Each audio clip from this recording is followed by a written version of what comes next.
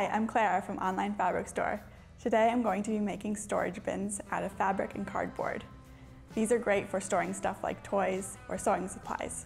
So let's get started. The materials you'll need are one yard each of two coordinating fabrics. I'm using orange broadcloth and Premier Prints Rosa Mandarin Dossett.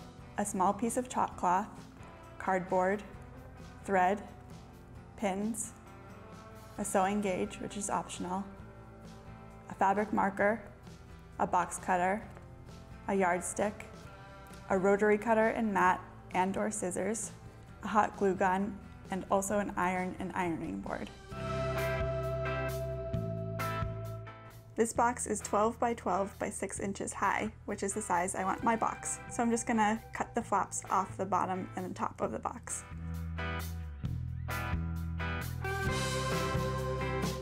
I also need a 12 by 12 piece for the bottom of the box, so I'll measure and cut that.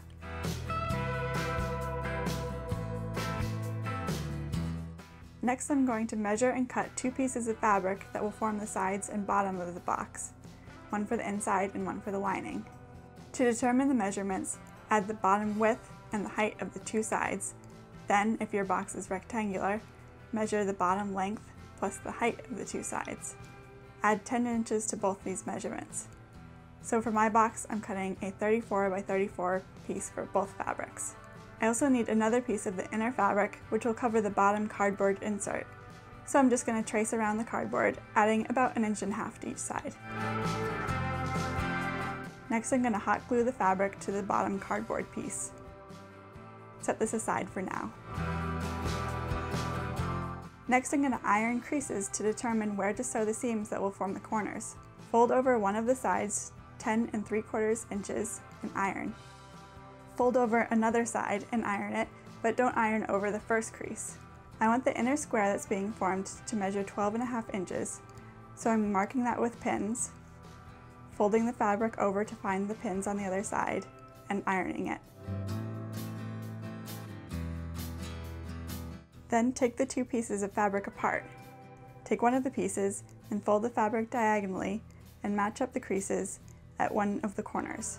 Sew along the creased line from the corner of the inner square to the raw edge. Repeat this on all corners of both the inside and outside fabrics.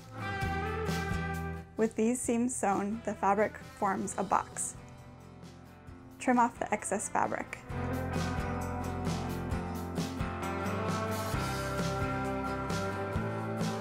Next I'm going to add a chalk cloth label to the box. First you have to season the fabric by rubbing it with chalk. Then wipe it off and repeat. I'm cutting my label to be 2 by 4 inches.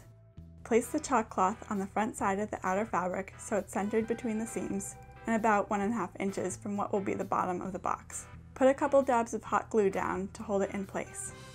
Next I'm going to sew around the edges of the label. You can choose a straight stitch and sew just inside the edge of the chalk cloth, or use a stitch like a zigzag and sew on either side of the edge. I'm using one like this that's a little more decorative. Next I'm going to put the cardboard into the fabric pieces. So take your outer fabric and make sure the right side is facing out. Put the side pieces of the cardboard into the outer fabric. Then nest the inner fabric inside this. Finally, put in the cardboard bottom piece. Fold the raw edges of both fabrics inward about an inch and keep on rolling until it's folded over the edge of the box about one and a half inches. You can make these bins in a variety of sizes to fit your needs, and they'll add style and storage to your shelving. Thanks for watching this OFS project.